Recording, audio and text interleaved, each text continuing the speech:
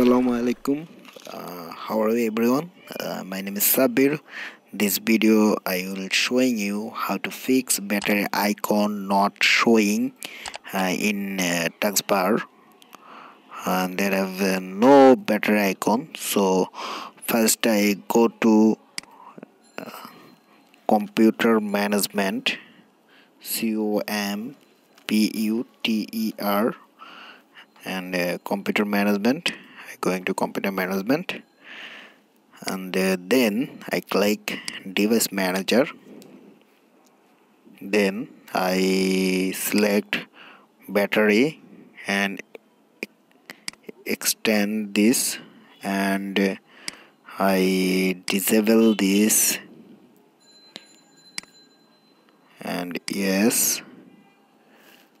And then again same to do do disable this. Okay then I scan for change hardware changes. Yes.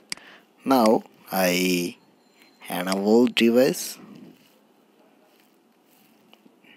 And again enable device and then scan hardware change and my battery icon is calm. I think this video help you and hopefully you also fix this issue. Thanks. If you like my video please subscribe my channel